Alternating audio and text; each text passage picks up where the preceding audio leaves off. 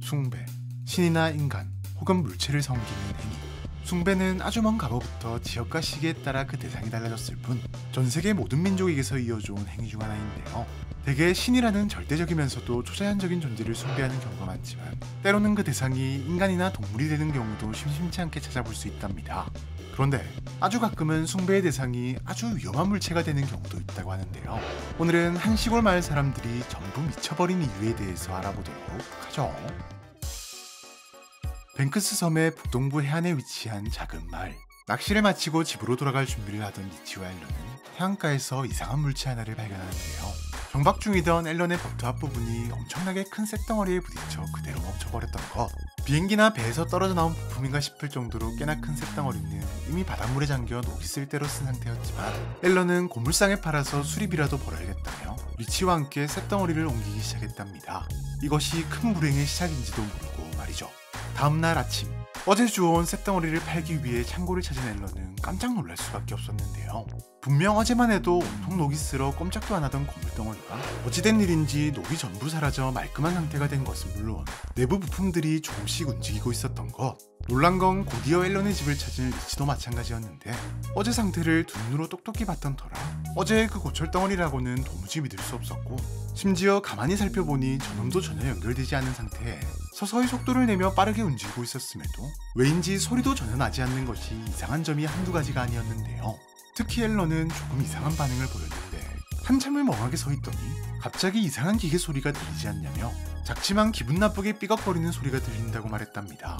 다만 그 순간 앨런의 엄마가 기계를 멈춰보겠다며 파이프를 집어넣으려다 이를 다치는 탓에 앨런의 말은 그리 주목받지 못하고 묻혀버렸고 왠지 기분 나쁘고 이상한 기계라며 사람들이 하나둘 자리를 떠나자 기분 나쁜 소리도 계속 들리는 데다 혼자서 저 큰 걸 옮기기도 애매했던 앨런은 기계 덩어리를 그대로 방치해둔 채 창고에서 나와버렸답니다.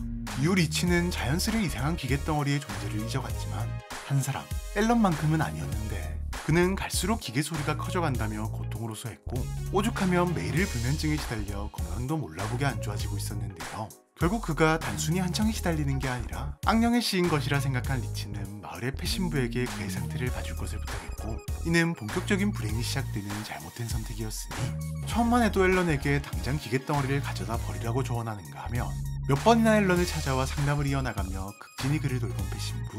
실제로 패신부의 상담이 효과가 있었던 것인지 며칠 뒤 앨런은 상당히 좋아진 얼굴로 패신부와 함께 마을 사람들 앞에 나타났는데 한 가지 이상한 점은 그 옆에 조금 더 커진 듯 보이는 기계덩어리가 떡하니 있었다는 것인데요.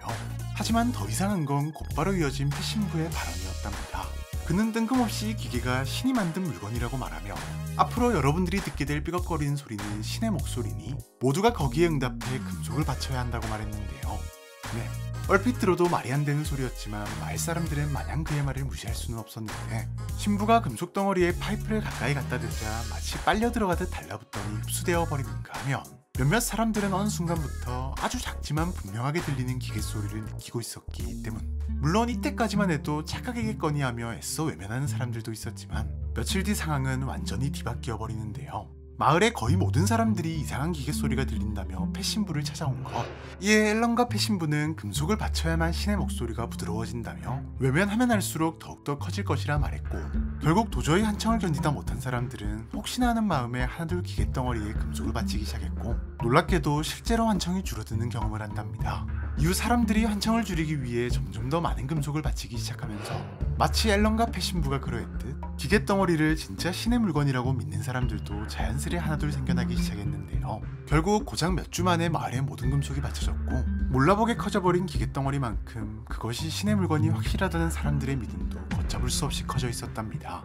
특히 패신부는 더 이상 바칠 게 없었음에도 더 많은 금속이 필요하다며 무언가 더 특별한 게 필요하다며 사람들을 선동하기 시작했고 하다하다 벤치로 사람들의 금리까지 뽑아바치는 미친 짓을 아무렇지도 않게 이어나갔는데요.